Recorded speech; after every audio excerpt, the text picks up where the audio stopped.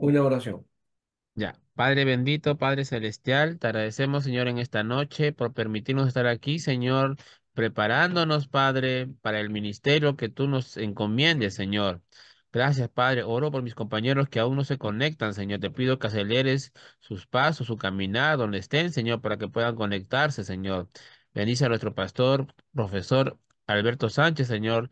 Síguele dando sabiduría y conocimiento para poder enseñarnos, Señor, mucho más, Señor, de lo que tú tienes preparado para cada uno de nosotros. Te lo agradezco en el precioso y bendito nombre de Jesús. Amén. Amén. Bien, aquí estamos entonces para este trabajo. Y este, um, solamente pido que ustedes oren porque y yo tuve ese, el año pasado, no sé si acuerdan algunos, tuve un problema de lumbago y tuve la pierna izquierda que no podía caminar, tuve que ir a terapia, bueno, me recuperé. Bueno, en este viaje eh, parece que no es que ha recrudecido, pero que sí tengo un problema de ciática, ¿no? Por este lado, en el otro lado.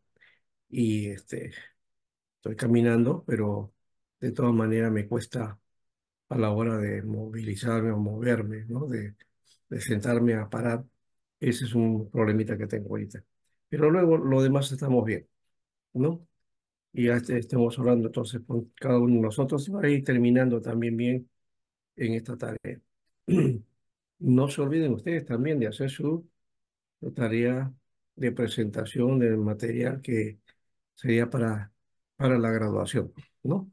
Para sustentación y, y finalmente para la terminación del trabajo, ya que ustedes están en el último año, ¿no? Bueno, de este trabajo ya hemos mencionado y he ampliado, porque el otro material ha, ha- ha sido ampliado, utilizando eh, un documento que tengo por ahí. Aquí está también esto de los padres de la iglesia, pero hay, hay algunos detalles de visualización que quiero presentar, ¿no? Eh, quiero que quede bien claro esta, esta etapa de los padres de la iglesia, eh, porque es fundamental. Uno, porque dentro del mundo evangélico, como que tenemos silencio sobre esta etapa, como que nos, no le damos importancia a nosotros, ¿no? Eh, una especie de, tenemos una especie de oscurantismo con respecto a esta época y también a lo que ocurrió en la Edad Media.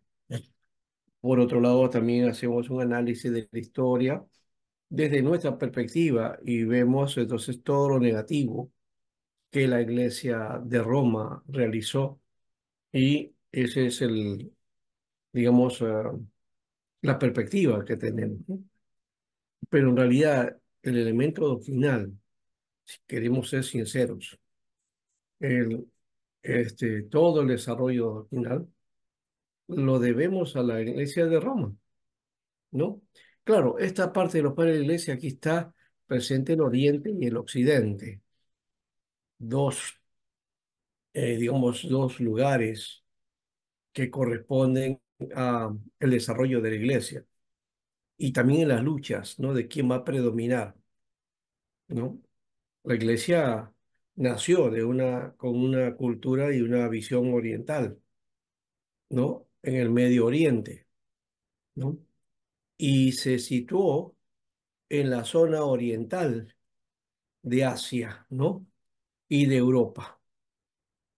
Entonces, eh, cuando llega a Roma, ya viene a desarrollar desde otra perspectiva y Roma va a occidentalizar el cristianismo, ¿no?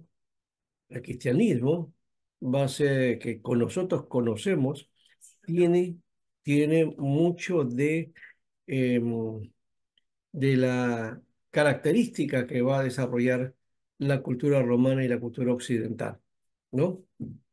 Eh, por, por, eso, dentro de la cultura, se dice que una de las características que ha sido y que eh, el carácter que tiene la, la, cultura del occidente, ¿no? Tiene un carácter cristiano, ¿no? O sea, ha penetrado de alguna manera el cristianismo a la cultura. Eso parece que hubiera sido bueno, pero no ha sido tan bueno, me parece. En medio de los resultados que tenemos no, no ha sido tan, lo óptimo, ¿no? Pero por otro lado también habría que decir, sí, es que el Evangelio tiene que entrar a la cultura, siempre decimos eso, en términos de misión, ¿no? El cristianismo tiene que eh, entrar a la cultura, ¿no? Pero permear la cultura y darle un perfil. Ah, ahí viene lo- el, el asunto este. El perfil de la, de la cultura occidental, ¿lo ha formado la iglesia? ¿O es que la cultura occidental se ha valido, se ha valido de la iglesia para asumir ciertas eh, formas de visión cultural, ¿no? Hasta aquí todavía estamos hablando abstractamente, posiblemente, porque estamos hablando de cultura y qué cosa es cultura y qué cosa es cristianismo también. Eh, son términos, por lo menos eh, cultura en sociología está bien definido. Lo que no está definido es el cristianismo, ¿no? Porque que depende del perfil que le demos, o cristiandad en todo caso, ¿no? La Iglesia Católica mucho habla de la cristiandad. Y cuando habla de la cristiandad está hablando pues de la cultura cristiana del occidente, ¿no? Pero eso desecha, y también desde nuestra mirada, desecha al cristianismo del oriente, no lo, no lo tomamos en cuenta, ni siquiera para mirar qué cosa es el pensamiento de nuestros hermanos que están en el oriente, ¿no? De la iglesia ortodoxa. Hasta algunos, muy sectariamente, ¿no? Toman la actitud católica, ¿no? ¿Cuál es la actitud católica? Que dice que la iglesia católica es la única mediadora y la única institución salvadora, ¿no? La iglesia es la que salva, ¿no? Entonces, si estás en la iglesia de Roma, estás salvo, dice. Hay que ver qué cosa entiende por salvación y también eh, cuáles las prácticas o, evidencias de esa salvación de, que perfila la iglesia católica. Desde el lado de la reforma y las iglesias evangélicas, tampoco la hacemos mal. También decimos nosotros, ya, que el evangelio sí es salvación, pero que nuestra denominación o nuestras verdades son las reales, ¿no? Y hablamos de sana doctrina inclusive, ¿no? Las más radicales, las más extremas hablan de sana doctrina y cuidar la sana doctrina. Y si te desvías de la sana doctrina, entonces ya no eres salvo, ¿no? Eso es lo que se aplica. Otra vez, otro concepto también que había que, que corregir. ¿Qué cosa es sana doctrina? Porque si sana doctrina es lo que cree mi iglesia, mi denominación, lo que he hecho es reduccionismo. Reduccionismo. ¿Qué cosa es esa palabra de reduccionismo? He reducido el concepto a mi encuadrado pensamiento, ¿no? ¿no? En mi encuadrado pensamiento denominacional, organizacional. Entonces miro el cristianismo a partir de mi denominación, de mi iglesia, ¿no? Antiguamente, por ejemplo, los bautistas decían que el cielo es bautista y solo los bautistas van, ¿no? y había pleitos entre presbiterianos, bautistas, metodistas y todo, ¿no? Ahora, con el pentecostalismo, entonces, si no hablas en lenguas, no eres salvo. Pentecostalismo extremo, ¿no? Entonces, cada corriente ha engarzado el aspecto de las verdades a su propia visión de vida, a su propia visión de la enseñanza bíblica, ¿no? Por eso hay que decir que no, no siempre que decimos sana doctrina, no siempre que decimos eh, es bíblico, porque es otra palabra también. No dice, ah, ese, esa enseñanza es bíblica, o ese mensaje ha sido bíblico. ¿Qué cosa es lo bíblico? Lo bíblico no es que un mensaje tenga 100, 200 textos, ¿no? Que el predicador los menciona, o que lo cita en una prédica, ¿no? Porque uno dice, ah, más textos bíblicos, más peso bíblico. O sea, sí, es un mensaje bíblico. No, el hecho que uno cite mucha Biblia no significa que un mensaje sea bíblico. ¿Cuándo un mensaje es bíblico? ¿Me pueden decir ustedes saber? ¿Cuándo podemos saber que hay un mensaje bíblico?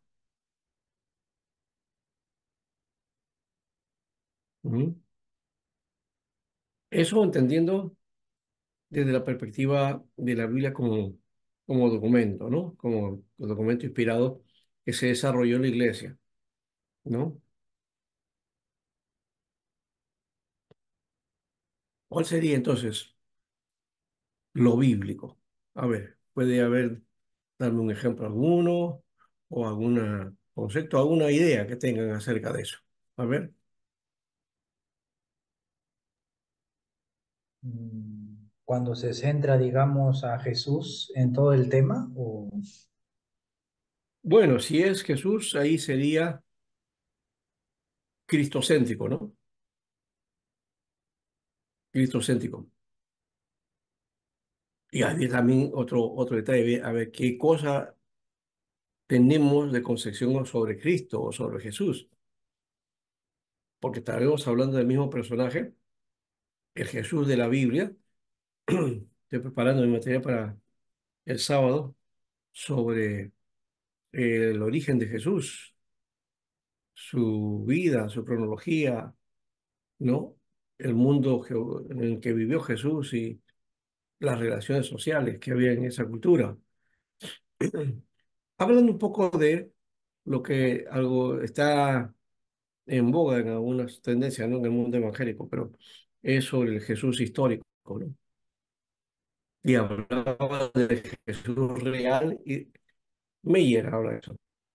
Josh eh, Paul Meyer habla acerca de, en su libro Jesús marginal, no, no, perdón, el Jesús, Jesús, un judío marginal. Entonces habla acerca de el Jesús real y el Jesús histórico, ¿no?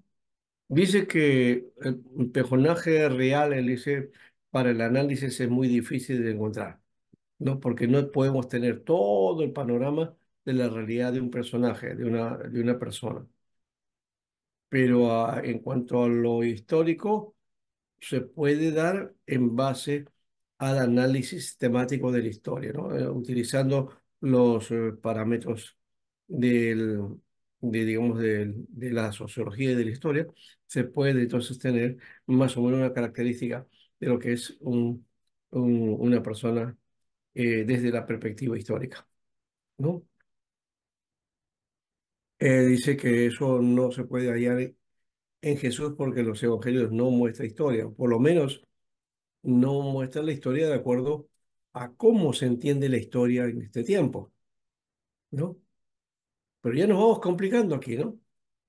He hablado de cultura, sociedad, cristiandad, ¿no? Eh, también hemos hablado de, de, de sana doctrina, hemos hablado también de, mm, de lo que es visión de la cultura. Hay varias cosas ahí que trabajar y de repente el tiempo no nos, no da espacio aquí, pero tampoco se trata de conceptuar estas categorías y con eso basta, no, sino la, la aplicación de estas, ¿no? Entonces, cuando hablamos de lo bíblico, ¿ya?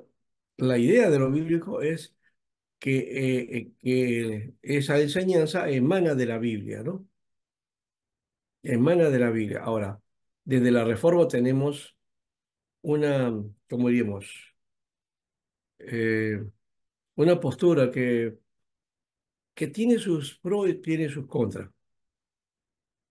Una postura con respecto a las escrituras, a la Biblia, que en la Reforma se asumió. La libre interpretación de las escrituras. ¿No? Entonces que Dios nos ha dado la capacidad para entender las escrituras y si eres hijo de Dios, el Espíritu te ilumina, por lo tanto, puedes ir a la Biblia y puedes encontrar sus verdades ahí, ¿no? Entonces, ese principio de la libre interpretación es parte de la reforma. Pero también esa libre interpretación nos ha llevado a otros problemas, ¿no? Porque no todos interpretan adecuadamente. Y para eso hay parámetros pues, dentro del método, por lo menos la reforma asumió el método eh, histórico-gramatical, ¿no? Para el análisis de las escrituras y para tener por lo menos un cernidor, porque cualquier cosa que uno vaya a la Biblia y le entienda, no significa que es lo que dice la Biblia, puede ser solamente tu interpretación, una interpretación válida, porque así se estableció la libre interpretación, pero de esa libre interpretación hay que cotejar si está en concordancia con la verdad. Todo lo que esté en concordancia con la verdad, entonces es escritural bíblico. ¿Por qué? Porque tiene que ver con el pensamiento bíblico. Entonces, cuando hablamos de lo bíblico, tiene que ver con el pensamiento bíblico. No, no, no tiene que ver con, con lo que por ahí un texto encuentras, ¿no? Vamos a, por ejemplo, de estas controversias que siempre, que siempre se dan. Eh, en la Biblia hay varias formas de entender algunos pasajes, ¿no? Pero no nos ponemos de acuerdo las iglesias en cuanto a esto, ¿no? Y de eso, entonces, cada una ha tenido su propia posición o postura, ¿no? Por ejemplo, las luchas que han habido dentro de, de los concilios, y creo que por ahí este, eh, se vio este aspecto de la, de, por ejemplo, eh, la postura trinitaria, o la postura arriana, o la postura este, modalista, ¿no? Con respecto a Cristo y la divinidad, ¿no? Entonces de ahí han salido varias posturas. ¿Cuál de esas posturas es la bíblica? La que triunfó dentro del concilio o de los concilios parten como premisa de que los concilios definieron la verdad, ¿no? Y que todas las iglesias tienen que aceptar esto. Pero otra vez dijimos que la iglesia no tenía una ortodoxia, sino tenía una, un carácter heterodoxo. Es decir, había el cristianismo tenía su espectro doctrinal que tenía sus variantes en el oriente, en el occidente, en el mundo eh, de Egipto, de Asia, ¿no? Había diferentes posturas, ¿no? Y no dejaran de ser eh, cristianos. El asunto es que el concilio, cuando definía sus puntos, ellos determinaban qué era lo correcto y qué no es lo correcto. ¿no? Aun cuando podían haberse equivocado los padres de la iglesia, evidentemente sí hay algunos aspectos. Por ejemplo, vamos a ponerlo de esta manera, a ver. Y no, no es para estar en, en, controversia tampoco, ¿no? Simplemente para mover un poquito el asunto. Mm, por ejemplo, el concepto de la Trinidad, ¿es bíblico o es un desarrollo de los padres de la iglesia? ¿Cómo lo hemos, lo hemos recibido o cómo nos han enseñado? A ver. Bueno, pastor, el, el concepto, el concepto Trinidad en sí no está en la Biblia, el concepto, la palabra Trinidad no Ya, existe. Pero este, el, eh, bueno, el, el, el- la, pues se le puede decir el, la verdad enseñar que en caso es, es la Trinidad sí está en la Biblia, ¿no? El, el, Padre, el Hijo, el Espíritu Santo, eso es lo que se nos ha enseñado, ¿no? ya, sí, sí, claro. Este, tres divinidades, tres personas, un solo Dios, ¿no? Sí. Eso, eso es lo que nosotros tenemos, este, bueno, en mi caso es lo que yo, yo lo tengo Y eso es la base, digamos, esa es la base que partimos, ¿no? Todos hemos recibido ahí. Tú vas a, a- a mirar la etapa conciliar y vas a encontrar un montón de cosas ahí que no son simples tampoco, no es solamente allá la Trinidad es así, sino hay varias concepciones acerca de eso, ¿no? Y hay otras más, pero la que triunfó es la que domina, entonces es la que determina. Las demás son desechadas, ¿no? Y es más, también hemos aumentado el hecho de que si no se cree así, entonces no eres salvo, ¿no? Ya los concilios determinaron eso. En la Biblia no encontramos que sea así, ¿no? Por otro lado, también se pone la Trinidad como verdad fundamental, ¿verdad? Si no crees así, entonces no eres cristiano. Entonces, ¿cómo quedarían nuestros hermanos unitarios, ¿no? O los modalistas, Los ¿no? unitarios, los solo Jesús. Eh, claro, que son cristianos también, ¿no? Y que tienen una postura diferente, ¿no?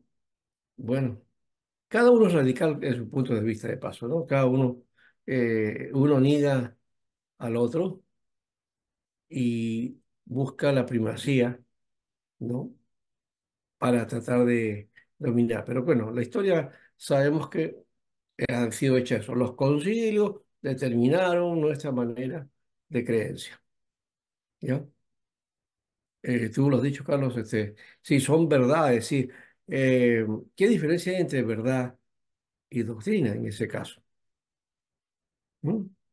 Porque la doctrina que sale de, la, de los padres de la iglesia no sale porque ellos dijeron, bueno, ahora vamos a mirar acerca hacer este tema, no, sino que en la iglesia había, había posturas acerca de la persona de Jesús, de la persona del Espíritu Santo, ¿no?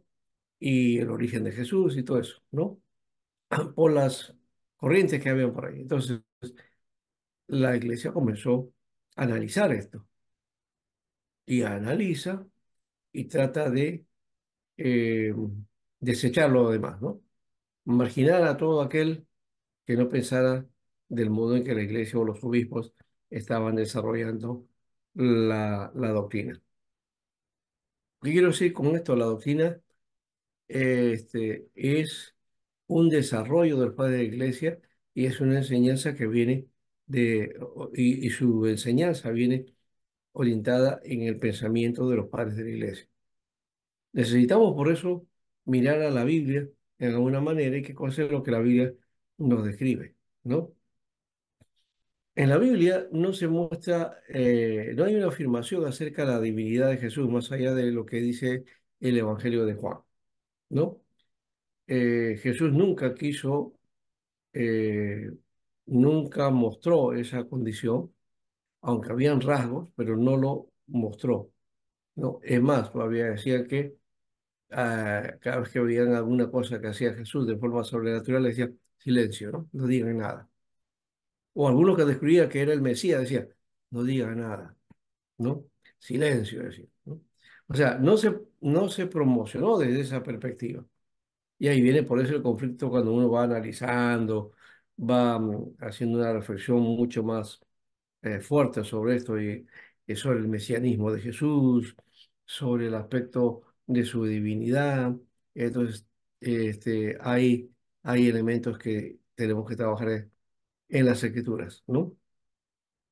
No en solamente los dogmas que ya nos dijeron. Entonces, eh, ya los dogmas han establecido, voy al dogma, creo eso y, y enseño eso, pero si no voy a analizar el texto, entonces no puedo afirmar bien eh, todo esto, ¿no? Solamente estoy recibiendo de segunda mano aquello que debería ser de primera en las escrituras. Ese creo que es el sentido de y la importancia que tiene la Biblia, ¿no? ¿Ya? Que te va a dar entonces el perfil, ¿no? Y acá se viene, pues, en esta etapa, pues, entra la filosofía, ¿no? Porque los padres de la iglesia hacen eso, ¿no? Eh, sí, eso es lo que dice, ah, y acá está, pero no dice exactamente que ese quién es ese consolador, ¿no? O, nos da la característica, porque la Biblia no está hecha de forma sistemática, lo dijimos, ¿no? Eh, entonces, sí nos da rasgos, como esto de que yo y mi padre somos uno, ¿no? Y, pero nada una concreción de alguna manera. Por eso que los padres de la iglesia, ellos analizaron sus sus eh, sus puntos de vista y son los que, de alguna manera, decimos, se acercan más al pensamiento, ¿no? Pero, ya hemos dicho, este, la idea eh, va mucho más que eso, ¿no? Ahora, aquí está, por ejemplo, este caso, ¿no? Aquí está Clemente de Roma, ¿no? Este Clemente, que era judío, obispo de Roma, del año 92 al 101, discípulo de, de Pablo, ¿no? El Pablo cita mucho a Clemente, ¿no? Se le menciona en Filipenses, ¿no? Y la Iglesia Católica Romana lo considera el tercer papa frente a la sede de Roma, ¿no? En realidad fue el obispo, ¿no? Bueno, papas son obispos. De, de, de, los obispos se, se este, eligen a los papas, ¿no? Dentro de la, digamos, las categorías o, o un proceso eh, de elección papal, ¿no? Ignacio de Antioquía, discípulo de Pedro y de Pablo, mártir en el circo romano, ¿no? Eh, que también escribió mucho, ¿no? Apologeta. Aquí está Policarpo de Esmirna, ¿no? Est estas figuras son, eh, digamos, ilustraciones orientales, esto está aquí, ¿eh? ¿no? Especialmente esta y esta de acá, ¿no? Así configuraban los orientales a los, a los siervos de Dios, ¿no? Eh, es eh, arte oriental, ¿no? Arte del oriente. En las iglesias orientales hay vitrales así, ¿no? Con este tipo de, de figuras. Este Policarpo fue este, un discípulo de Juan, ¿no? obispo de Esmirna, discípulo de Juan, maestro de Ireneo de Lío, el gran famoso Ireneo, el que escribió su libro Contra las herejías, ¿no? Así se llama el título, Contra las herejías. Bueno, lo quemaron también a él, ¿no? Entonces, esos padres apologistas, está Ireneo de Layo, estos son los, lo que se llamarían padres apostólicos, ¿no? Y los padres apologistas, ¿ya? De estos, Ireneo de León, ¿ve? Contra las herejías, uno de sus libros, donde denuncia, ¿no? Y hace una reputación de la, de la gnosis, ¿no? Especialmente de la gnosis. Y el otro libro de él, su otra obra, no son las únicas, pero por lo menos esas dos son las que se mencionan. Epidixis, o epidixis, o no le llaman así, epideisis, ¿no? Que es la demostración de la predicación apostólica, que para la época ya el desarrollo de la aplicación se hacía bajo homilías, un concepto de la homilía que la Iglesia Católica se ha seguido, ¿no? Eh, que es una homilía. Una homilía es eh, la confrontación y también exhortación, ¿no? ¿No?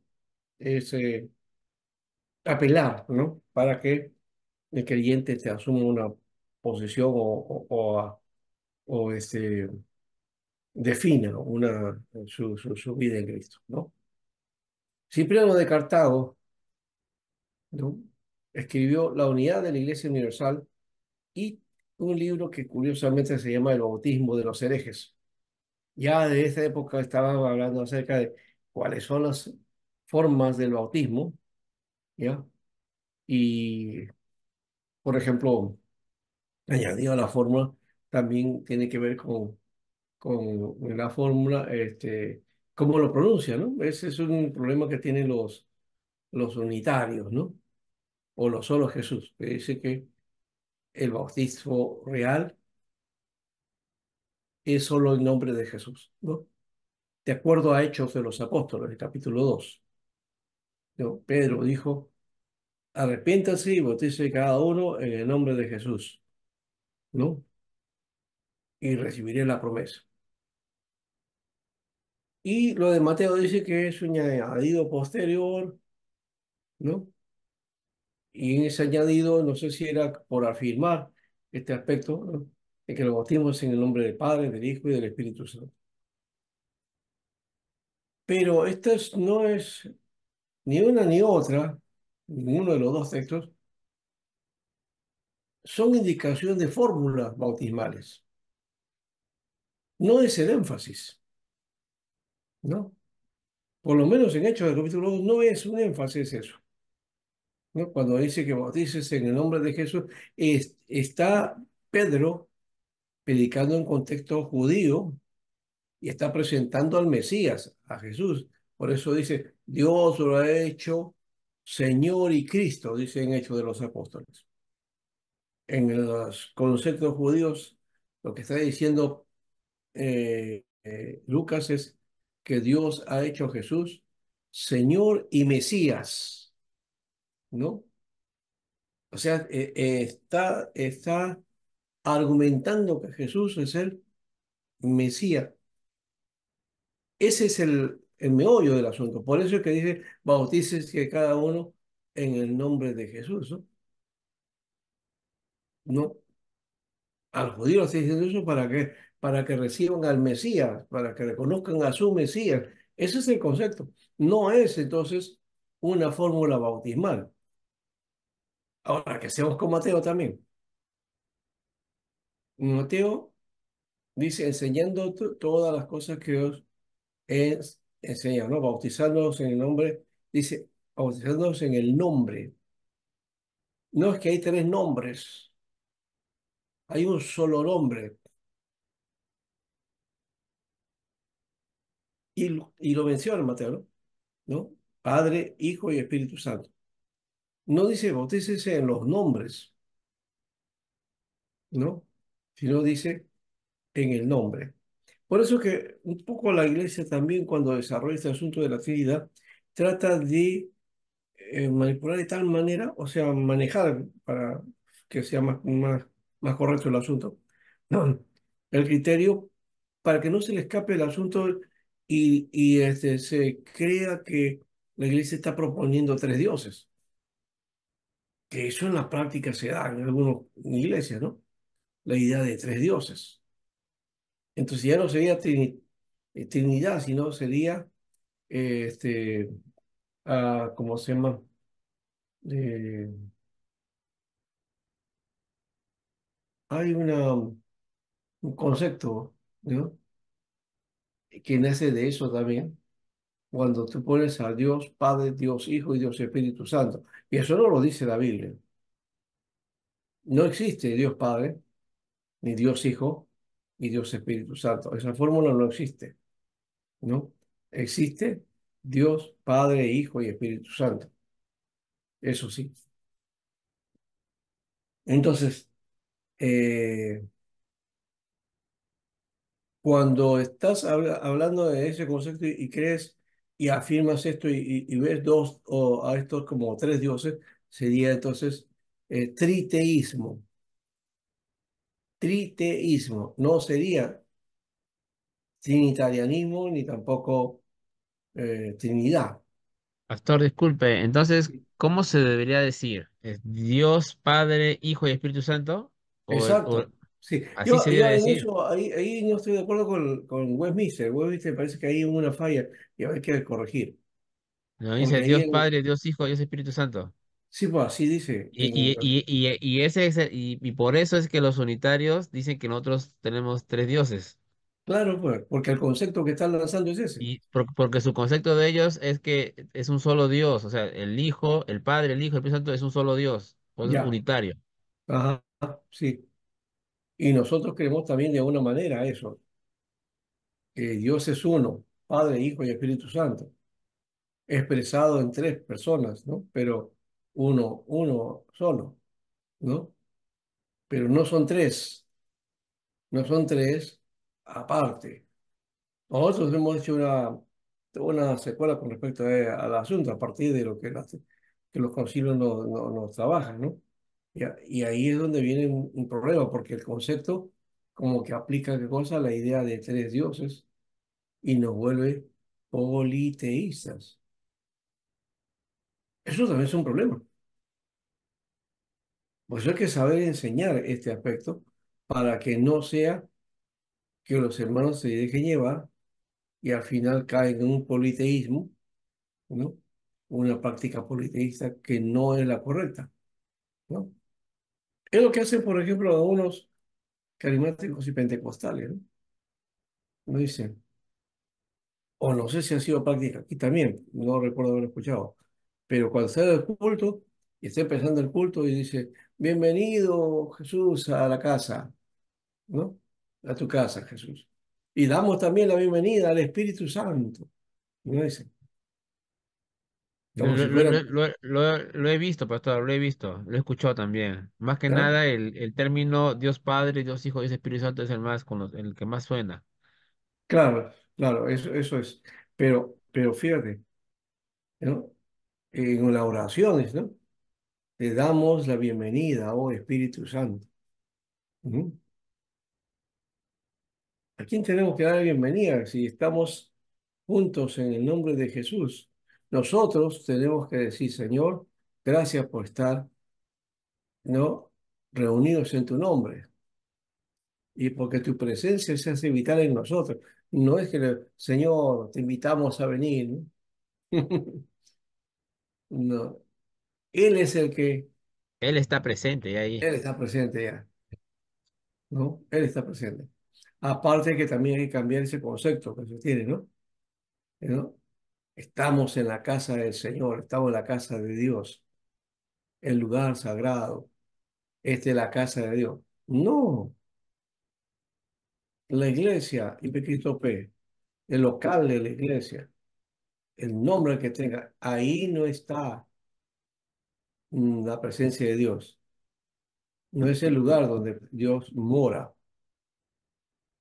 La- de acuerdo a la Biblia, Dios moraba, pero en el templo de Jerusalén, ¿no? Por la figura del tabernáculo, ¿no? La presencia de Dios estaba ahí.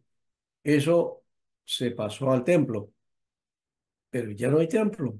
Y Jesús mismo dijo, ya no habrá en un momento el tiempo para adorar en Jerusalén ni tampoco en Samaria, porque los que adorarán lo harán en espíritu y en verdad. Y Pablo añade más todavía diciendo, somos templo del Espíritu Santo. ¿Quiénes son templo del Espíritu Santo? ¿Los locales? No, los creyentes. Ese, es, e- e- eso es verdad, pastor, pero hay, un- hay un punto ahí. El tema es que a veces, si nosotros, mm, no. El lugar donde nos congregamos es, es un, es un lugar, no es un lugar, es un templo, ¿no? O una casa, ¿no? De, de oración, ¿no? Pero si nosotros no le damos también el valor que, que representa un, el- ese lugar que para, ¿no? A veces como que no hay reverencia tampoco en la, en Ahí la, viene el otro lado. ¿no? Ajá. La Vienes reverencia la vestido, vienes, vienes vestido como quieres, te Ya, sientas como quieres, ¿no? ya, correcto. Pero la, la reverencia no la hace por el lugar o por la sacralización del lugar, Claro. no por el reconocimiento de la presencia de Dios en nuestra vida. Lo otro va a ser solamente regla religiosa. Ah, yo en la iglesia tengo que arreglarme bonito, tengo que estar bien porque tengo que estar en la iglesia. Pero eso es una regla religiosa. Si enseñamos más bien a reconocer que Jesús mora en nosotros por el Espíritu Santo y su presencia está en nosotros y somos nosotros el templo del Espíritu Santo, entonces nosotros vamos también entonces a corregirnos de eso y venir a la presencia de Dios de una manera adecuada. No porque vamos a estar en ese lugar, sino porque tenemos al Señor en nosotros. ¿Te das cuenta? ¿Cómo cambia la figura? ¿Ya? Pero hay que enseñar eso, no se enseña. Se enseña a los otros, ¿no? Es como Dicen, y escuché esta ilustración que a mí me, me pareció jocosa, pero que tiene mucho de enseñanza también. Dice que un campesino se había convertido al Señor y estaba en sus primeros días, ¿no? De creyente, ¿no? Estaba muy feliz ¿no? Y comenzó a ir a su iglesia y dejaba su ganado, sus cositas ahí, ¿no? Y se iba a la iglesia. Entonces, eh, él escucha algo así, ¿no?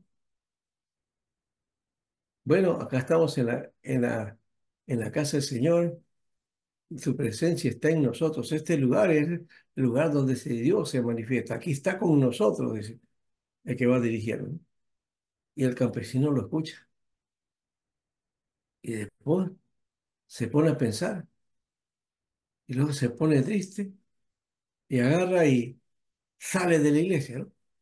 Se da media vuelta. Y entonces el hermano que estaba ahí, ¿no? Recibiendo, le dice, hermano, pero ¿por qué se va usted? Le dice, ¿qué pasa? Dice, no, es que, dice él, no, es que el hermano acaba de decir que el Señor está aquí con nosotros y que su presencia solamente está aquí, ¿no? Y entonces me preocupó porque tengo mis animalitos allá, ¿no? ¿Y quién los va a cuidar si Dios no está ahí? ¿No? Y dice que se fue. O sea, esa idea de que Dios está aquí, pero no está allá, ¿no? Y lo repetía, el, el que dirigía, no, no está en la calle, no está aquí allá, no, está aquí nomás en el templo. Entonces dijo, uy, no, ¿quién va a cuidar a mis ovejitas? Entonces voy a, voy a, cuidarla, ¿no? Porque Dios está ocupado aquí en el templo, ¿no? Y está y abandonado a mis bienes, ¿no? Entonces, esa ilustración es curiosa porque es la idea, es la idea, ¿no? Es primigenia, claro, un pensamiento primario. De este campesino que no conocía mucho seguramente y no, no, no tenía, no era muy versado, no tenía mucho conocimiento. Y claro, él entendió así, pues, ¿no? Dios está aquí. Wow, si Dios está aquí, entonces, ¿quién está cuidando mis ovejitas?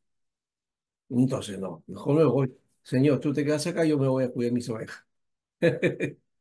¿No? Entonces, eso ilustra eh, muchas cosas, como tú estabas diciendo, Carlos, ¿no? Nos ilustra también nuestra actitud como creyentes, ¿no? Ah, ya, en la iglesia sí, me porto bien, vengo ahí, ya, tengo que estar muy bien, ¿no? Ya, porque está ahí el Señor. Pero en el trabajo, ay, oh, eso es un asunto secular, es asunto mundano, ¿no es cierto? Ah, ahí yo puedo relajarme, ¿no? Y hay muchos creyentes que se relajan y se portan peor que los mundanos, ¿verdad? ¿Qué debería hacer uno en el trabajo? ¿Mm? ¿No es comportarnos también de la misma manera como nos comportamos en la iglesia? ¿O solamente en la iglesia asumimos esa posición de, de santos? ¿Ah? A ver qué me dicen ustedes acerca de eso. Mientras voy a buscar algo por aquí que, que quiero mostrarles y, y que eh, esta vez sí los hacer reír porque parece que la ilustración no les, no, no, no encontraron el humor o, eh, este, o la chispa ahí, ¿no? Bueno, yo no lo conté bonito, ¿no? Pero de todas maneras ahí está la, la ilustración. Pero tengo por aquí otra que es, este, y esta es un dibujo que me ha gustado mucho, ¿ya? Y que le he publicado, así que vamos a ver. Bueno, comenten ustedes, ¿saben? Mientras tanto,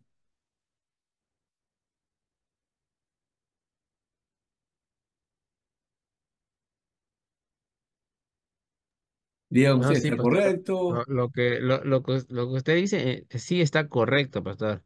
Ya, Está correcto, ¿no? Pero, por ejemplo, este, en, a veces nosotros también, eh, claro, para nosotros no solamente Dios está en la iglesia, en el templo, ¿no? Dios está en todas partes, ¿no? Y Él merece que nosotros eh, nuestro testimonio debe estar en, en- debemos brillar en todos lados, ¿no? Como hijo de Dios, ¿no? No solamente en la iglesia, ¿no? Pero yo veo, o sea, no, no, no veo en el término que quizás hay cristianos que en, en, en, en iglesias se, se visten bien o se comportan de una manera que, que es buena, pero en la calle se comportan de una manera que, que, que no es, no es dable por un hijo de Dios. Eh, el tema no va por ese lado, ¿no? Sino que yo pienso que hay, hay cristianos que sí son buenos cristianos, este, buen- buenos siervos, personas que están en la iglesia, cumplen con, sus, deberes, sus ministerios la comunión con Dios, pues solamente Él y Dios saben cómo Él está delante de Dios, ¿no? Pero este, eh, ellos tienen un concepto de que no, ya la iglesia, pues la iglesia es, un, es un lugar solamente, es, es un lugar, ¿no? Es un, no, no tener tanta representación, porque Dios está en todos lados, ¿no? Ujú, Entonces yo puedo hacer cosas que quizás este, en la iglesia, pues, eh, eh, me dicen, no, pero la, igle- la iglesia somos nosotros, ¿no? Este es un templo, es un cuatro paredes, ¿no? Como eh, eh, hace, hace un tiempo cuando hablábamos de liturgia, pastor, cuando le cuando comentábamos si se podía hacer coreografías, teatros en la iglesia. ujú, Usted, incluso usted dijo, ¿no? Que, que no, no lo podemos hacer quizás en la calle como un evangelismo, pero en la iglesia no, ¿no? Porque ujú, igual es, es, este, merece respeto y reverencia, ¿no? Entonces, algo por ahí es lo que yo quería, este, Ya, está bien. tener ahí. Ajá. Está bien eso, claro. Eh, solo que eh, ya he dicho, yo vi, yo conozco mucha gente que ha sido consagrada, pero también su actitud aparentemente en la iglesia era consagración, pero afuera, y lo tildamos de buen cristiano. Pero sus transacciones, sus cosas, sus puntos de vista, sus acciones en relación con el mundo eran igual que cualquier persona, ¿no? Entonces eso es lo que hay que tener, hay que enseñar para que se corrija eso. Porque bueno, uno puede decir, ah, el consagrado, bueno, se va a portar aquí y se va a portar en la calle igual, pero hay otros que no han aprendido, pues, ¿no? Y hay que corregir. Mira, esta es una de las típicas, a ver, la vean esa, a ver cómo, cómo definen esa, esa, esa- ese dibujo, Pastor Sánchez, ¿aló? ¿sí?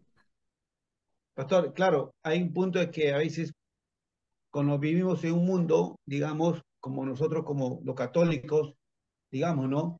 Eh, lo viven de una manera como así se figura, ¿no? Deja tu atuendo y te vas como si fueras un santo. Ahora el tema es, ¿a quién engañamos? Ahora como cristianos, ¿cómo debemos de, de presentarnos y cómo debemos de estar? ¿Cómo nos miramos? Tanto no solamente en la iglesia, en tu hogar y en tu trabajo. El tema Ujú, es, ¿me engaño yo? ¿Engaño a las personas o engaño a Dios? Entonces yo creo que con nosotros como cristianos ya, como creyentes del Señor, debemos caminar mutuamente bien como manda el Señor, ¿no? Como, como Pablo dijo bien, ¿no? Y, y muchas cosas más, este, cómo representan y, y cómo estamos viendo, y a qué representamos también nosotros. pues. Entonces yo creo que, pastor, hay, hay cosas que a veces hay cristianos que, que inclusivemente cómo está su comportamiento, ¿no? O sea, cómo lo viven. Claro. yo en mi hogar, digamos, en mi familia, digamos, ¿no? Yo antes era terrible. Ahora mi cambio fue absolutamente cambiado porque yo conocí a Cristo. Y mi vecindad donde yo vivo, antes yo aquí me miraban porque yo antes era borracho, a veces con los amigos, pelota, y ahora, cuando me ven a mí, le miran a mi esposa, le dice que este hombre cómo ha cambiado. O sea, ¿qué figura estoy mostrando yo, no? Y lo que dice mi esposa es Cristo, lo ha cambiado. ¿Te das Ujú, cuenta? Entonces, ¿y yo qué hago, pastor? Es caminar ahora, dar mi testimonio, como yo, como Cristo me ha cambiado a mí. Entonces, entonces y a ujú. eso, mi, ve mi realidad, mi cambio, que Dios me ha cambiado, ¿no? A través. Eso yo quiero, pastor, tenemos que ser real, ¿no? Que somos Sí, ahora sí. vivimos Cristo, ¿no? Y, hay que afirmar eso porque eh, Carlos dijo algo que es, este, bueno, utilizó algo que yo siempre me he preocupado. eh, que hay algunos consagrados y algunos no son consagrados, ¿no? Es lo que Pablo dice, ¿no? De, acerca de, de los cristianos carnales, cristianos espirituales. O Mm. sea, a pesar de eso que Pablo menciona y lo describió bien este Carlos, la idea de estar en la iglesia es que todos, todos, este, busquen esa consagración y esa entrega a Dios, ¿no? Y a cada uno dará cuenta del Señor si cómo es finalmente el comportamiento, ¿no? Pero, pero lo cierto es que la exigencia, ¿no? en el ministerio debe ser formar a todos a la- al modelo del varón perfecto, que es Jesucristo, ¿no? Y tener ese corazón de Pablo, ¿no? Donde él decía, yo tengo dolores de parto hasta que Cristo sea formado en vosotros, ¿no? O sea que su preocupación era formar a Cristo en cada creyente. Ese debe ser nuestra misión. Ya si es creyente o no, consagrado, si es mundano o no, el asunto ya eso eh, la va a tener con- que ver con el Señor, porque finalmente le estás dando la palabra, lo estás dando y si no, ni no este, la pone en práctica ya es asunto de él, ¿no? Pero estás de alguna manera librando tu corazón, es lo que decía Pablo, ¿no? Yo estoy libre de la sangre de todos, decía, ¿no? Porque a todos he predicado y a todos he enseñado y a todos he mostrado a Cristo y no le debo a nadie. ¿no? Eso creo que es el sentido de la tarea misionera, de la tarea ministerial, ¿no? Formar a Cristo en cada creyente.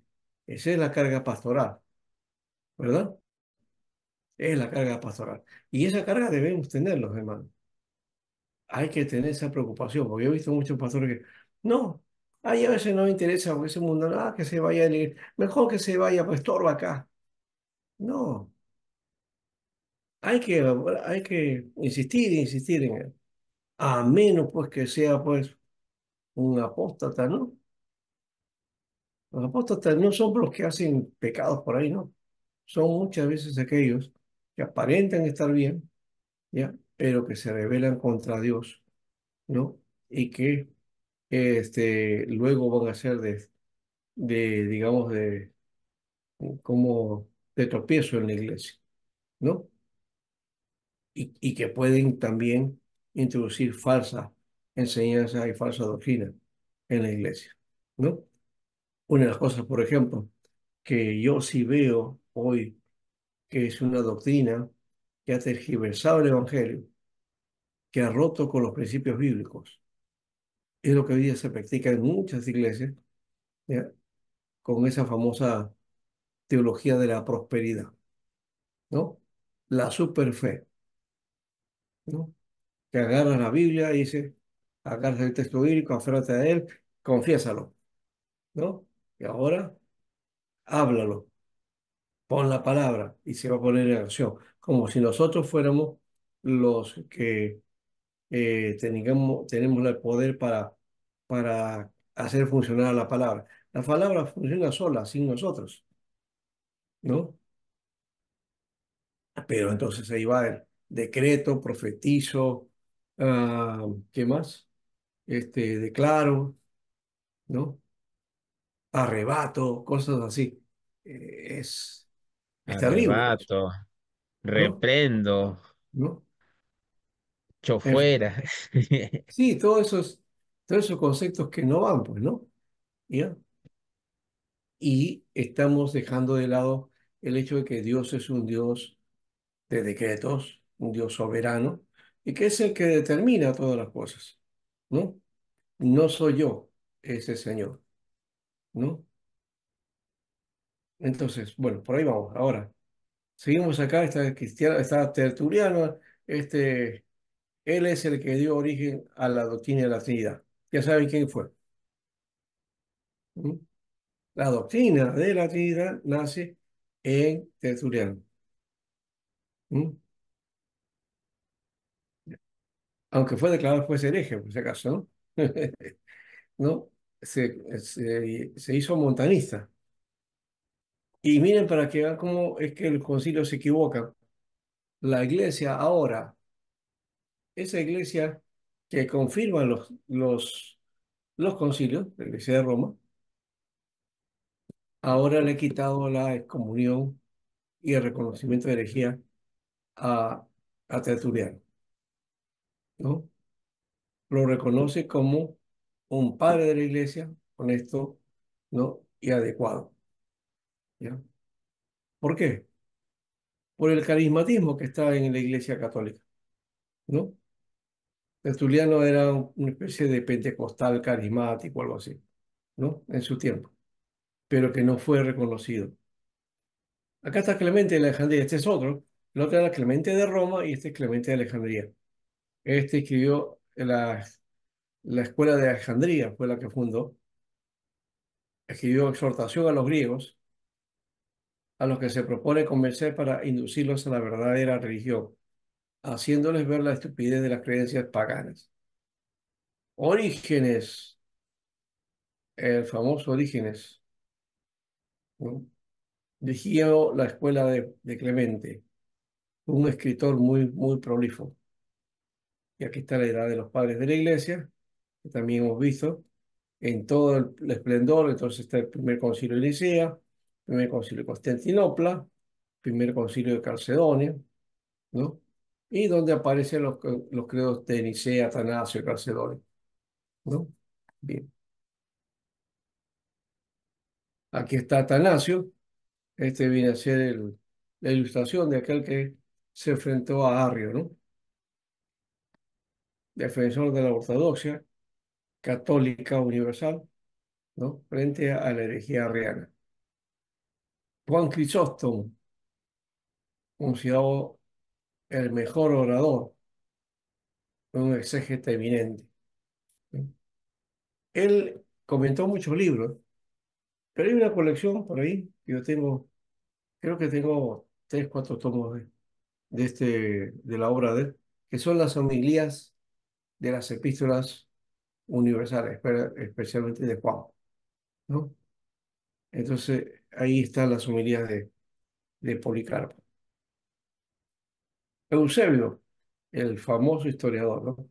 Escribió una historia de la iglesia desde el nacimiento de Jesús hasta el 325, un año antes del concilio de Nicea. Ese documento se llama Historia Eclesiástica. Es la primera historia eclesiástica hecha por un personaje de, la iglesia, ¿no? Así que Justo González no es el primero en escribir, ¿eh? Ni tampoco la iglesia católica. Ahí yo tengo dos tomos de historia de la iglesia de origen católico, ¿no? Que ellos ponen su punto de vista y también ahí favorecen a los concilios, todo porque en algún modo este, esa iglesia que se, eh, el oriente, eh, si bien los concilios fueron oriente, pero que luego el, el occidente que toma fuerza y hace a la iglesia de Roma, ¿no? Entonces, la iglesia se occidentaliza y es la iglesia que va a dominar toda la Edad Media, ¿no? Con impulsos de la filosofía eh, neoplatónica, ¿no? Donde se ve la materia mala y el espíritu bueno, sea, el cuerpo es malo y el espíritu sí es bueno, ¿no? Esos conceptos denigran a la mujer, eh, hacen exigencias en el matrimonio absurdas, ¿no? Y este, la sexualidad, la mete la sexualidad como una cosa terrible, ¿no? O lo sexual como, como satánico, como eso es parte de la naturaleza humana, ¿no? Entonces hace ver, cambia toda esa figura que la Biblia está mostrando, ¿no? Con gran fuerza. La, Edad Media, entonces nos plantea un pensamiento hasta, podríamos decir, retrógrado, ¿no? Nos devuelve a, a una concepción eh, de que, por ejemplo, la sexualidad es mala hasta en las relaciones de matrimonio, decía. Algunos padres de la iglesia se llegaron a decir, llegaron a decir que cuando una pareja estaba teniendo relaciones sexuales, ¿no? Unos esposos tenían relaciones sexuales, Dios, dice, agarraba y volteaba la cara, ¿no? Cerraba los ojos y volteaba la cara, como diciendo que el, la relación sexual o la intimidad es mala. Y eso no es así. Hebreo nos muestra todo lo contrario, ¿sí? ¿no? Sea sin mancha, dice, ¿no?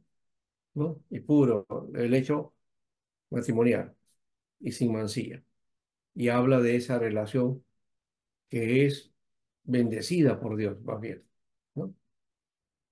eso está interesante. Me gustó una vez un pastor de los hermanos coreanos que dijo algo entre los pastores, ¿no? Lo voy a compartir a ustedes, pero con mucho cuidado también, ¿no? Porque se pueden tergiversar. Este, estábamos en una reunión pastoral y estaba hablando acerca, acerca de, del cuidado de la familia y de, la, de las relaciones pastorales del, de lo que vendría a ser el matrimonio del pastor, ¿no? Y su relación con su esposa. Entonces él hizo una pregunta, una pregunta interesante. Dijo, ¿cuántos de ustedes, cuando tienen relaciones con sus esposas, antes de tener la relación, oran a Dios? ¿Cuántos oran a Dios? Dices, ¿cómo? No, si eso es, es de la carne, ¿cómo voy a estar orando al Señor? ¿No? O sea, lo vemos así. Ahora, ¿saben por qué vemos así? Porque esa es mentalidad católica, concepto católica de- del sexo. Y lo estaba diciendo bien el pastor. ¿Por qué?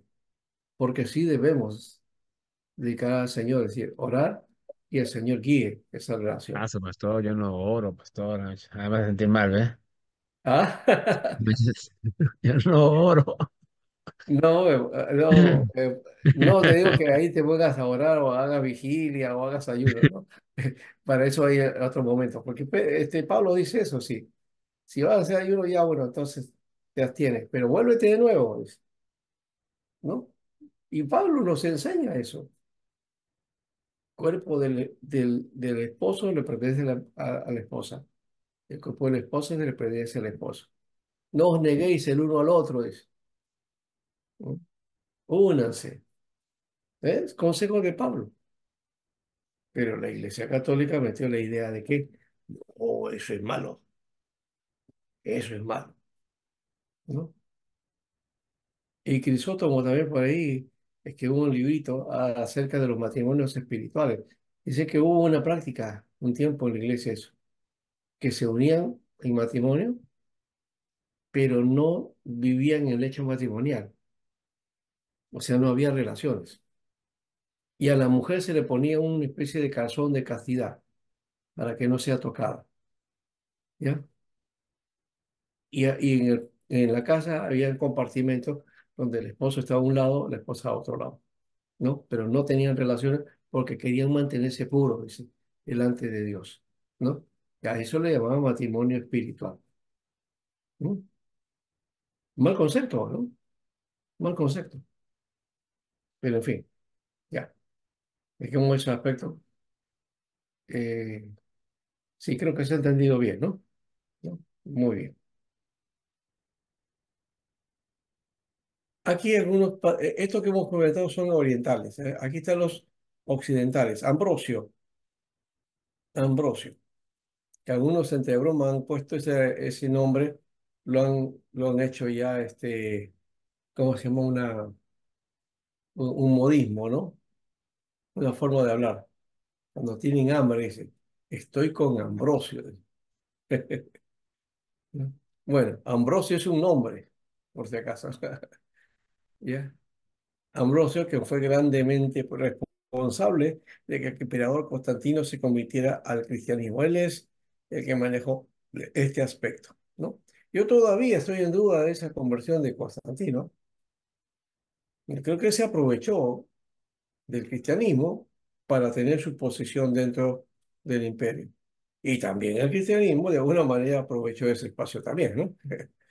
Así que eh, este, Eusebio de Cesarea justamente dice eso, ¿no? Y fue la oportunidad para que la iglesia entonces eh, se esparciera, ¿no? Y el evangelio corriera mucho más todavía, porque ahora ya, ya no había eh, persecuciones, ¿no?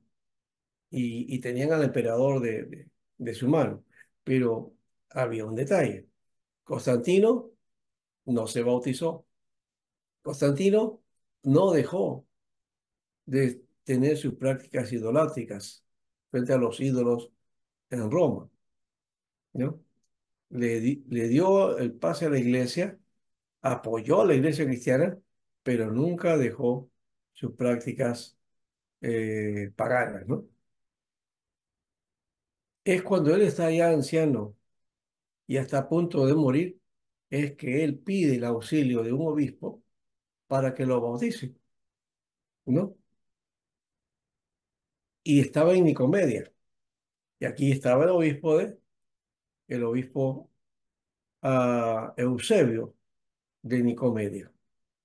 Es otro Eusebio, ¿no? Y Eusebio de Nicomedia, ahí viene también lo curioso, porque Constantino ordena el concilio de, de Nicea, donde se va a tratar el caso de Arrio, ¿no?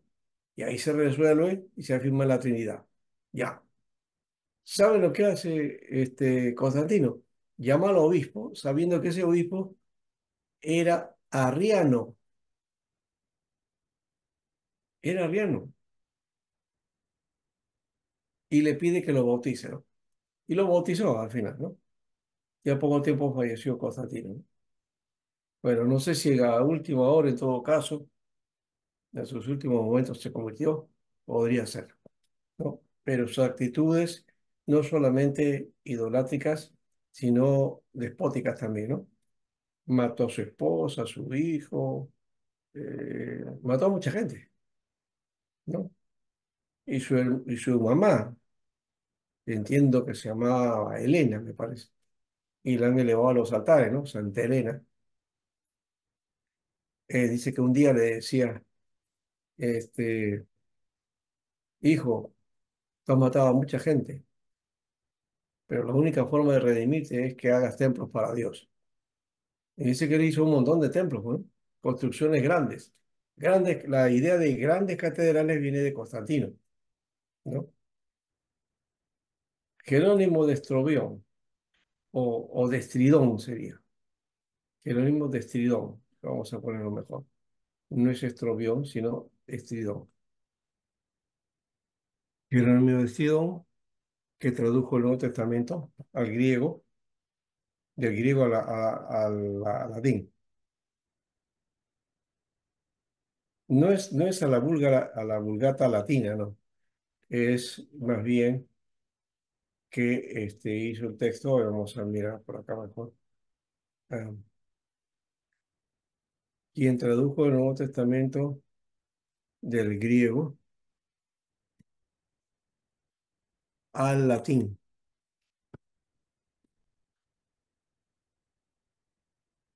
Hizo la vulgata latina. Y hasta ahora sí.